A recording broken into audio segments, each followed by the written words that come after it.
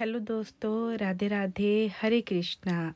तो आज मैं आप सबके साथ अपने ठाकुर जी राधा रानी का श्रृंगार, मैंने कैसे किया? मकर संक्रांति पे लोहड़ी का श्रृंगार जो कहते हैं तो उसका श्रृंगार कुछ स्पेशल भी है तो मैंने सोचा क्यों ना आप सबके साथ थोड़ा सा डिटेल में बताया जाए कि इस श्रृंगार में स्पेशल ऐसी क्या चीज़ है कि जो मैंने अपने ठाकुर जी राधा रानी को ड्रेस पहनाई है। क्योंकि वैसे तो आप पहले ये श्रृंगार दर्शन देख चुके हो, पर मैं ये वीडियो इसलिए बना के आप सबके साथ साथ शेयर करने जा रही हूँ, ताकि आपको पता चले हमारी लोहड़ी और मकर संक्रांति पे स्पेशल ड्रेस क्यों पहनाई जाती है। तो जैसे कि अभी तो आप मेरे ठाकुर जी के स्नान के दर्शन कर रहे हैं, उनके चरणों के दर्शन कर रहे हैं तो उनके चरणों को मैंने अच्छे से उनको नहला धुला के अपने ठाकुर जी, अपने लल्ला को तैयार करने जा रही हूँ। तो जो इस वीडियो में मैं आप सबके साथ शेयर करने जा रही हूँ बीच बीच में हम भजन का आनंद भी लेते रहेंगे और साथ साथ मैं आपको अपने ठाकुर जी राधा रानी का श्रृंगार मैंने कैसे किया है, वो भी सब आपको डिटेल में बताती जाऊँगी। और साथ में ये भी हम बीच बीच में चर्चा करेंगे कि मैंने अपने ठाकुर जी राधा रानी की ड्रेस कैसे तैयार की और उसमें क्या क्या भाव थे मेरे ठाकुर जी के लिए जो मैंने ड्रेस तैयार की है। तो चलिए तो सबसे पहले हम अपने ठाकुर जी का श्रृंगार करते हैं, फिर हमारी लाडो प्यारी, हमारी श्यामा प्यारी का श्रृंगार करेंगे। तो देखते हैं हमारी श्यामा प्यारी और हमारे ठाकुर जी, हमारे लल्ला इस बार मकर संक्रांति पे लोहड़ी पे कैसा श्रृंगार करवाते हैं।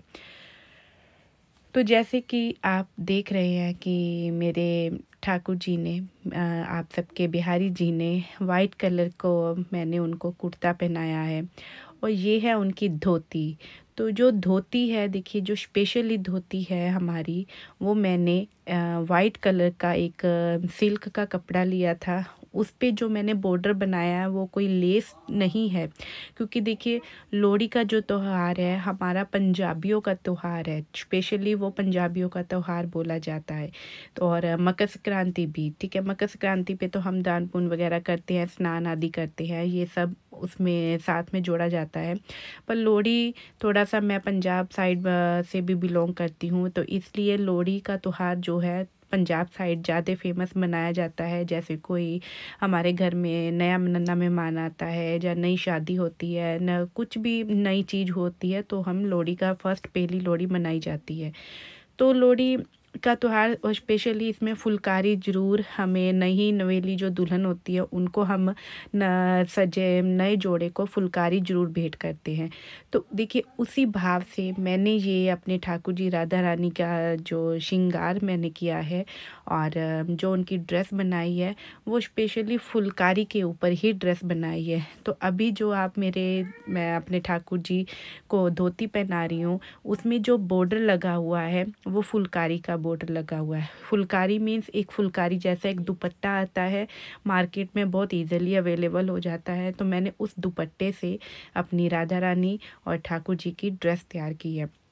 तो देखिए ये हमारी हाँ, हमारे ठाकुर जी ने धोती धारण कर ली है। कितने सुंदर हमारे शाम सुंदर लग रहे हैं। उनकी मुख की शोभा और उनकी मुख की मुस्कान तो बहुत प्यारी लग रही है।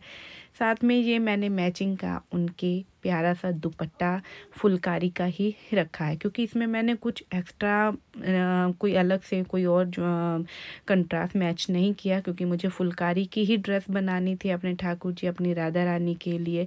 तो इसलिए स्पेशली ये ड्रेस सिर्फ़ मैंने फुलकारी के दुपट्टे से ही बनाई है। पंजाबियों में अगर हम बोले तो इसको फुलकारी बोला जाता है, और अगर हम नॉर्थ साइड हमारे यूपी साइड बोला जाए तो हम दुपट्टा बोलते हैं। फुलकारी को दुपट्टा भी बोला जाता है। और ये फुलकारी थोड़ी हैवी होती है। अगर हम बेसिकली पंजाब साइड जाएँगे तो बहुत सुंदर सुंदर फुलकारी मिलती है, बहुत हैवी फुलकारी मिलती है। तो उसी से रिलेटेड मुझे भी अपने इस शहर में फुलकारी मिल गई थी। तो उसी से मैंने अपने ठाकुर जी के लिए ये ड्रेस तैयार की थी। तो देखिए, सबसे पहले मैंने अपने ठाकुर जी को धोती पहना दी है, उनको सुंदर सा कुर्ता पहनाया है और साथ में ब्लाउज भी पहना दिया है और दुपट्टा भी दे दिया है, जो कि सारा मैंने फुलकारी से एक दुपट्टे से ही की ड्रेस बनाई है। इसमें सिर्फ़ मैंने प्लेन नेट प्लेन ये सिल्क का क्रीम कलर का कपड़ा लिया था थोड़ा सा बस। इसके अलावा मैंने पूरे एक दुपट्टे से अपने ठाकुर जी की राधा रानी की ड्रेस बनाई है। और इसी के साथ अब हम अपने ठाकुर जी को थोड़ी सी प्यारी सी ज्वेलरी धारण कराएँगे। ज्वेलरी से उनके सुंदर से श्रृंगार, जो कि हमारे प्रभु बहुत प्यारे लगते हैं। बिना श्रृंगार किए तो हमारे ठाकुर जी का श्रृंगार अधूरा है। तो ये अभी ये मैंने कमर बंद ली है। ये कमरबंद स्टोन की है। तो वैसे तो ये नेकलेस है। नेकलेस को आप कमरबंद में भी पहना सकते हैं और हाथों में भी और गले के हार में भी। वो आपकी इच्छा पे और आपके भाव पर डिपेंड करता है। आप कैसे भी पहना सकते हैं। और अब मैंने अपने ठाकुर जी को देखिए, अपने उनके सिर पे मैंने एक अलग से कपड़ा बांधा है। वो इसलिए बांधा बांधा है क्योंकि उनको थोड़ा सा जो पिंस वगैरह हम लगाते हैं डेकोरेशन करते हैं उनके बालों में तो वो उनको चुभे ना, इसलिए लगे ना उनके सिर पे। तो इस तरह से मैंने उनको केश पहना दिया है। अब केश के ऊपर हम अपने ठाकुर जी के, अपनी राधा श्याम सुंदर के सुंदर सी प्यारी सी पगड़ी बांधने की कोशिश करेंगे। तो मैंने पगड़ी बनाने की भी आप सबके साथ बहुत सुंदर सुंदर वीडियो शेयर की है। आप सब मेरे चैनल पे जाके वो वीडियो ज़रूर देखिएगा। अब देखिए, सबसे पहले मैंने एक छोटी सा, छोटा सा पटका लिया है, उसको मैंने बाँध दिया है। और अगर आप क्लियरली देखेंगे तो उसको मैंने बीच से हाँ, मतलब ठाकुर जी के सिर पे बीच में आधा दुपट्टा हमारे राइट साइड और आधा दुपट्टा हमारा लेफ़्ट साइड रखने के बाद उसको ट्विस्ट करते हुए हम उनको धीरे धीरे करके बांधेंगे पगड़ी को। देखिए एक बार थोड़ा सा लगता है कि मुश्किल है पगड़ी बांधने में पर जब हम धीरे धीरे अपने ठाकुर जी को पगड़ी बांधते चले जाएँगे तो हमें आसानी से उनकी पगड़ी बांधनी भी आ जाएँगी। बाकी देखिए अपने ठाकुर जी की जब कृपा होती है तो सब कुछ ही आ जाता है। उनकी कृपा से सब कुछ संभव होता चला जाता है। मुझे भी नहीं आती थी अपने ठाकुर जी की पगड़ी बांधनी। उनके आशीर्वाद से, उनकी कृपा से पगड़ी बांधना भी मैं भी सीख गई हूँ। और आप सब भी सीख जाएँगे। धीरे धीरे अपने प्रभु का खुद से श्रृंगार करना स्टार्ट कीजिए। उनकी सेवा करनी स्टार्ट कीजिए। मन में जैसे जैसे भाव बढ़ता चला जाएगा वैसे वैसे प्रभु की सेवा भी होती चली जाएगी। तो देखिए, इस तरीके से मैंने अपने ठाकुर जी को बहुत सुंदर सी और प्यारी सी पगड़ी बांधी है। और इसी के साथ मैंने उनको जो मैचिंग की है, वो भी मैंने फुलकारी की ही मैचिंग की है, क्योंकि फुलकारी की ही मैंने अपने ठाकुर जी को पगड़ी बांधी है। उससे क्या होता है कि जैसे हम अपने ठाकुर जी को, राधा रानी को ड्रेस पहनाते हैं, उसी से थोड़ा मैचिंग करती हुई हमें उनको पगड़ी बाँध बांधनी चाहिए जिससे कि थोड़ा सा आ, उनका श्रृंगार बहुत सुंदर से निकल के आए। तो इस तरीके से देखिए मैंने अपने ठाकुर जी के सिर पे पूरे अच्छे से फुलकारी के दुपट्टे से उनको पगड़ी बाँध दी है। बाकी फिर उसके बाद हम अपने ठाकुर जी को धीरे धीरे सजाते चले जाएँगे। वो आप पे निर्भर करता है, आप अपने ठाकुर जी को फ़ैन लगा सकते हैं, कलगी लगा सकते हैं, मोर पंख लगा सकते हैं सुंदर सुंदर ज्वेलरी से भी उनकी पगड़ी को आप सजा सकते हैं। वो आप पे डिपेंड करता है जैसे जैसे आइडियाज़ कहते हैं ना, आते चले जाते हैं और प्रभु अपनों, आपको प्रेरणा देते जाते हैं तो वैसे वैसे आप अपने प्रभु का श्रृंगार भी करते चले जाते हैं।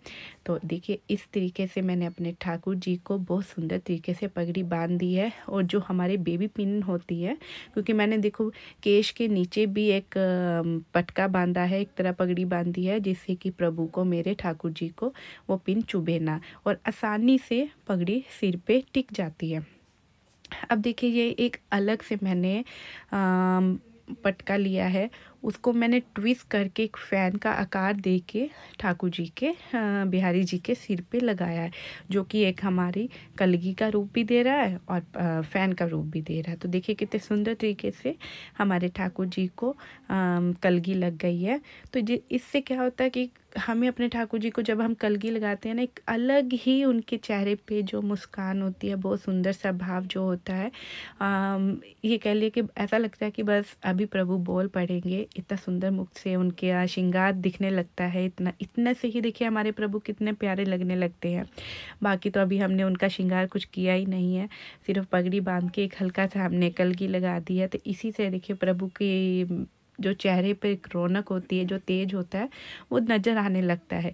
और जब वो भाव हमारे, हम जब अपने प्रभु को सजाते हैं और वो जो अब दिखने लगता है तो मन करता है ना, बस प्रभु को सजाते चले जाए, ये जीवन कम पड़ जाए, पर अपने प्रभु को ऐसे ही सजाते सजाते ये साँसें भी कम पड़ जाए।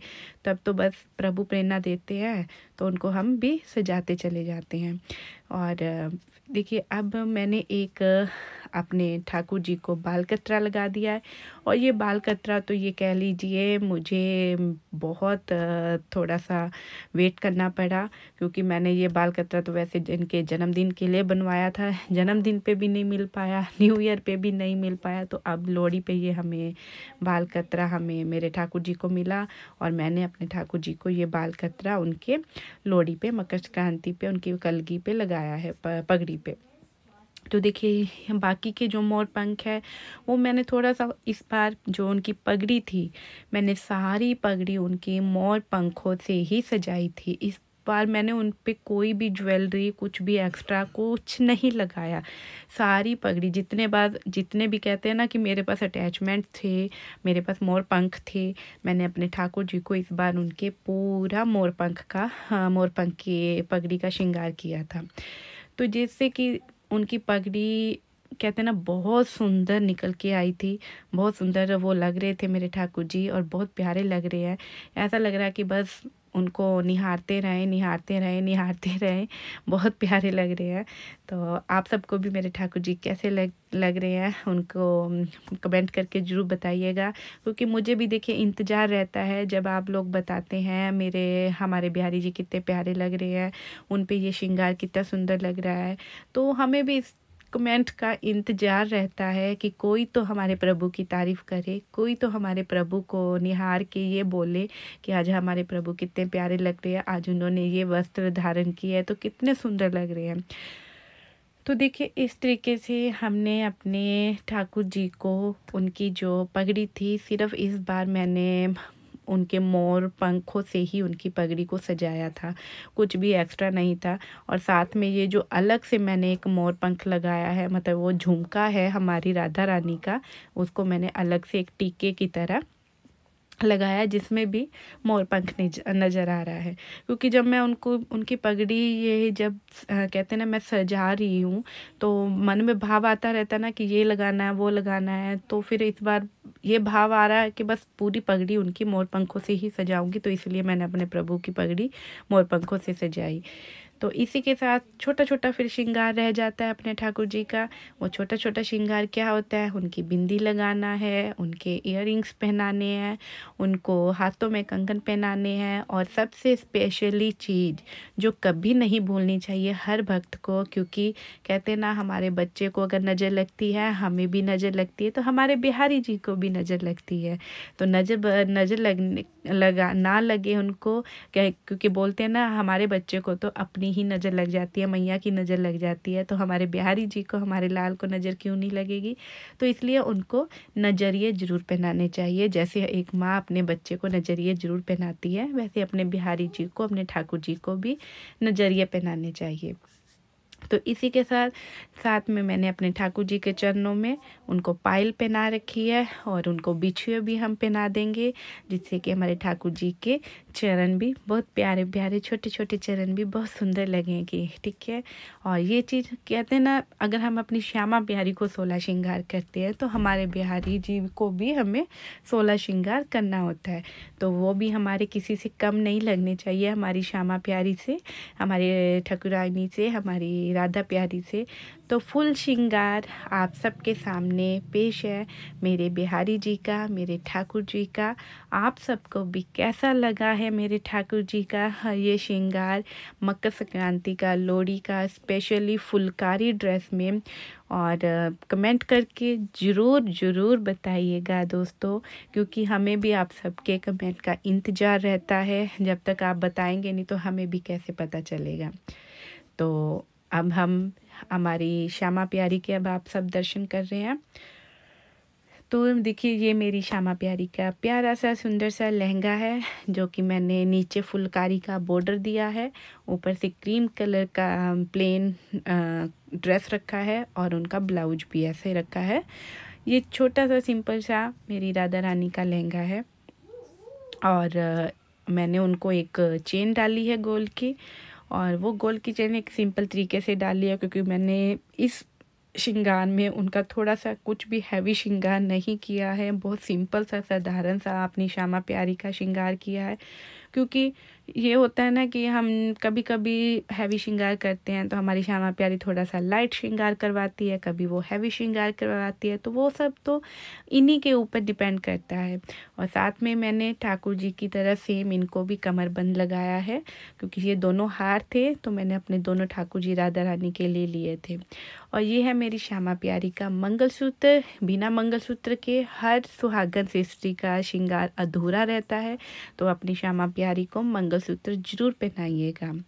और साथ में ये है मेरी श्यामा प्यारी का दुपट्टा, जो कि मैं, ये दुपट्टा वैसे मेरी बहुत सारी ड्रेसेस के साथ चल जाता है, या यूँ कह लीजिए मेरी श्यामा प्यारी ये दुपट्टा बहुत पहनती है। तो ये क्रीम वाला दुपट्टा मैंने अपनी श्यामा प्यारी के लिए अलग से इस ड्रेस पे पहनाया था। और अब हम अपनी राधा प्यारी, अपनी लाडो रानी को केश धारण कराएँगे। तो जैसे कि मैंने अब अपनी श्यामा प्यारी को केश पहना दिए हैं, उनके बालों को थोड़ा सा हम टाइट करते हुए उनको अच्छे से सेट कर लेंगे बालों को, क्योंकि जब तक हम अपनी राधा रानी के बालों को सेट नहीं करेंगे, तब तक उन पर हेयर स्टाइल नहीं हो पाता है। तो ये है उनकी एक चोटी जो कि मैंने अलग से उनको हाँ, पीछे से बालों के साथ अच्छे से उनको बाँध के आगे की तरफ़ पिन से टिक करके अच्छे से लगा दिया है ताकि हमारी राधा रानी की चोटी हिले ना। तो बाकी के जो बाल होते हैं फोर हेड पे जो आगे आ जाते हैं उसको भी हम सेट कर लेंगे।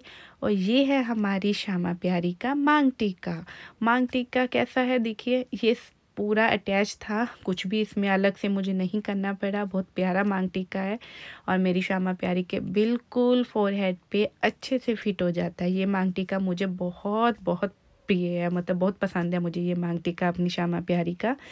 और ये मैंने एक अलग से और चोटी ली है, जो मैंने अपनी राधा रानी के सिर पे लगाई है, क्योंकि इससे अलग चोटी लगाने से क्या होता है, इसके ऊपर आप कुछ भी राधा रानी को चंद्रिका लगाते हैं या कोई अलग से कुछ फ्लावर्स लगाते हैं तो वो उभर के और निकल के अच्छे से आता है, जिससे उनका हेयर स्टाइल बहुत सुंदर से नज़र आता है। और ये है थोड़े से कर्ल जो मैंने अपनी राधा रानी को अपने श्यामा प्यारी को कर्ल्स लगाए हैं अलग से जिससे कि थोड़ा सा लुक और सुंदर लगे मेरी श्यामा प्यारी का। और ये है एक नेकलेस जो कि आप ऑलरेडी मेरे पहले वाले किसी भी तो श्रृंगार तो में ये हमने देख राधा रानी को तो इस बार ये श्रृंगार में अपनी राधा रानी छोटा सा नेकलेस लगा दिया है। तो हमारी राधा रानी का हेयर स्टाइल तैयार हो गया है जो कि आप सब देख रहे हैं। तो ये जो दुपट्टा है मैंने हल्का सा उनके हाथों से घुमा के उनको अलग से आ, लगा दिया है जिससे कि वो दुपट्टा उनके बालों में या किसी भी चीज़ में उलझे ना। और ये है फुलकारी। स्पेशली ये फुलकारी हमारी नवी नवेली दुल्हन को उड़ाई जाती है तो इसलिए लोहड़ी पे ये स्पेशल फुलकारी का श्रृंगार ज़रूर होता है जो भी हमारा नया विवाहित जोड़ा होता है उनको दिया जाता है। तो ये लोहड़ी जो है मेरी राधा रानी की पहली लोहड़ी थी तो मैंने अपनी राधा रानी के लिए इसीलिए ये स्पेशल फुलकारी की ड्रेस बनाई थी और उनको फुलकारी का ही दुपट्टा उनको दिया था अपनी श्यामा प्यारी को, लाडो को। तो साथ में ये मैंने चूड़ियाँ उनको पहनाई है तो चूड़ियाँ जो कि मेरी श्यामा प्यारी को बहुत प्रिय है, क्योंकि बिना चूड़ियाँ और बिना बिछुए बिना मंगलसूत्र और ज्वेलरी के बिना हमारी हर सुहागन स्त्री का, हमारी श्यामा प्यारी का श्रृंगार अधूरा है तो उनको श्रृंगार इन सब चीज़ों से ज़रूर करना चाहिए। और इसमें भी मैं ये बोलूँगी, हमारी श्यामा प्यारी बहुत प्यारी लगती है और ठाकुर जी से भी बहुत प्यारी है हमारी श्यामा प्यारी तो उनको किसी की नज़र ना लगे तो अपनी लाडो को भी, अपनी श्यामा प्यारी को भी नज़रिए ज़रूर पहनाने चाहिए, ताकि उनको हर बुरी नज़र से बचाया जा सके। वैसे तो उनको किसी की नज़र नहीं लग सकती है, क्योंकि वो तो सबको बचाते हैं। तो फिर भी एक भाव होता है ना तो हमने अपने शाम मैंने अपनी लाडो को नज़रिए पहनाए है। साथ में उनको अंगूठी पहनाई है और छोटे छोटे से उनको हाथों में छोटी छोटी अंगूठियाँ पहनाई है, जिससे हमारी श्यामा प्यारी के हाथ बहुत सुंदर सुंदर कोमल कोमल हाथ भी बहुत प्यारे लगे। और ये मैंने नज़रिया उनके दूसरे हाथों पे आशीर्वाद वाले हाथ पे उनको पहनाया है। साथ में उनको एक कंगन पहनाएँगे, जिससे कि हमारी श्यामा प्यारी के हाथ बहुत प्यारे लगे, बहुत सुंदर लगे। कि जब भी हम उनको देखें तो बस ये लगे कि हमारी श्यामा प्यारी हमें आशीर्वाद दे रही है। है और मुस्कुराई जा रही है हमारे सामने। बस हमें और निहारती रहे और हम अपनी श्यामा प्यारी को निहारते रहे। तो इस तरीके से अब अपनी श्यामा प्यारी को, अपनी लाडो को, हमारी राधा रानी को हम इयर पहनाएँगे।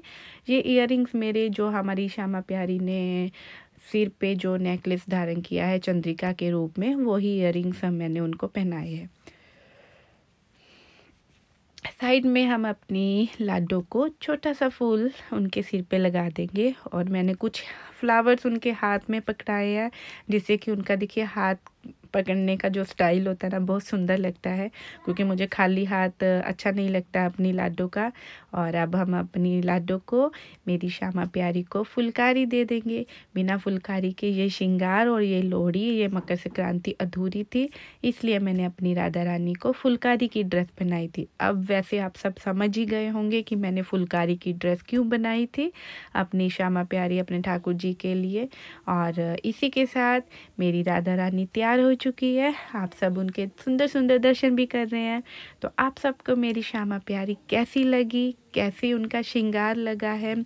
तो कमेंट करके जो बताइएगा और ये फुलकारी की ड्रेस आपको कैसी लगी है, कैसी उनकी मतलब जो छवि तैयार हुई है, वो कैसी लगी है, उनका लहंगा कैसा तैयार हुआ, वो कैसा लगा, उनका श्रृंगार कैसा लगा, कमेंट करके जो बताइएगा दोस्तों, क्योंकि अब मुझे भी आप सबके दोस्तों का कमेंट का इंतज़ार रहता है। जब तक आप कमेंट करके नहीं बताएँगे तो हमें भी कुछ कुछ आइडियाज़ नहीं आते हैं तो थोड़े थोड़े आइडियाज़ आपसे भी मिलते हैं तो अच्छा लगता है।